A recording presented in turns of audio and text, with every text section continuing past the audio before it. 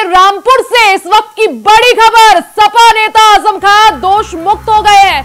आचार संहिता उल्लंघन से जुड़े मामले में आज सुनवाई हुई। इस दौरान अदालत ने फैसला सुनाते हुए सपा नेता आज़म खान को दोष मुक्त कर दिया है। एमपी एमएलए कोर्ट ने आज़म खान को बरी कर दिया है। लोक प्रतिनिधि अधिनियम के तहत मुकदमा दर्ज हुआ था। तो आचार संहिता उल्लंघन से जुड़ा है पूरा मामला 2019 लोकसभा चुनाव में समाजवादी पार्टी के प्रत्याशी थे आज़म खान, जिस दौरान वो मतदान केंद्र में अपनी गाड़ी लेकर चले गए थे। जबरन गाड़ी ले जाने का आरोप था, जिसके बाद इस मामले को लेकर एमपी, एमएलए कोर्ट ने आज सपा नेता आज़म खान को बड़ी राहत देते हुए आचार संहिता उल्लंघन के मामले में दोष मुक्त कर दिया है। हालाँकि अन्य मामलों में फ़िलहाल जेल में ही बंद रहेंगे आज़म खान तो ये बड़ी खबर आपको बता दें, रामपुर से बड़ी खबर, सपा नेता आज़म खान दोष मुक्त हो गए हैं। आचार संहिता उल्लंघन से जुड़े मामले में आज रामपुर की एमपी एमएलए कोर्ट ने आज़म खां को दोष मुक्त कर दिया है। 2019 से जुड़ा ये पूरा मामला, जिसमें समाजवादी पार्टी के प्रत्याशी थे आज़म खान और मतदान केंद्र में जबरन गाड़ी ले जाने का आरोप उन पर लगा था, जिसके बाद आचार संहिता उल्लंघन का मामला उन पर दर्ज हुआ था। हालाँकि इस मामले में आज रामपुर की एमपी एमएलए कोर्ट ने सुनवाई पूरी करते हुए उनको दोष मुक्त कर दिया है। ज़्यादा जानकारी के लिए सीधा रुख कर लेते हैं संवाददाता सुरेश दिवाकर का।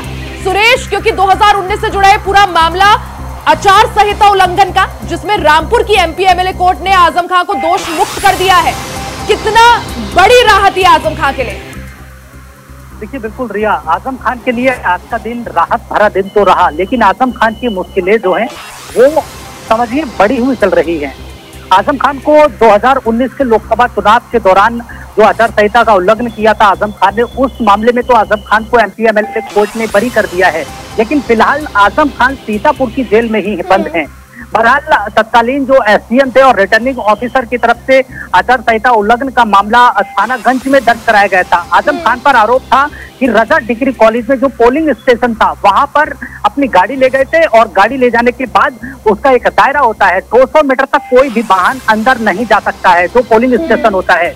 उस दायरे को आज़म खान तोड़ते हुए अंदर अपनी गाड़ी ले गए थे और उसके बाद में आचार संहिता उल्लंघन का जो मामला था, तत्कालीन सीएम और रिटर्निंग ऑफिसर के द्वारा ये मुकदमा आज़म खान के खिलाफ दर्ज कराया गया था। जो सारे सबूत थे, वो सबूतों के बाद मामला एमपी एमएलए कोर्ट पहुँचा। एमपी एमएलए कोर्ट पहुँचने के बाद आज एमपी एमएलए कोर्ट ने आज़म खान को राहत दी है और आज़म खान को दोष मुक्त कर दिया है।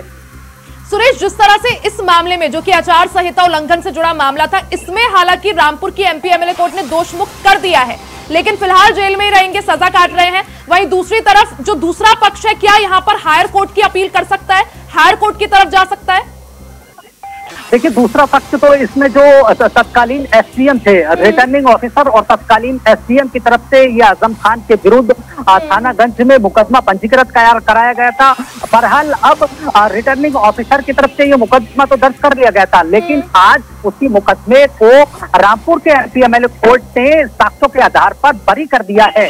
बहरहाल रामपुर के एमपी एमएलए कोर्ट के द्वारा आज़म खान को राहत मिली है। आज़म खान के लिए आज का दिन बेहद खुशियों भरा दिन रहा। बहरहाल, आज़म खान तो सीतापुर की जेल में है। लेकिन आज़म खान को कहीं ना कहीं आज एमपी एमएलए कोर्ट के द्वारा रामपुर के ये राहत भरी सांस लेने को मिली है। यानी 2019 के आचार संहिता उल्लंघन से जुड़े मामले में रामपुर की एमपी एमएलए कोर्ट ने आज़म खान को फ़िलहाल दोषमुक्त कर दिया हालाँकि सीतापुर की जेल में ही है अभी। बाकी जो है, सजा काट रहे हैं। सुरेश बहुत बहुत शुक्रिया जानकारी के लिए।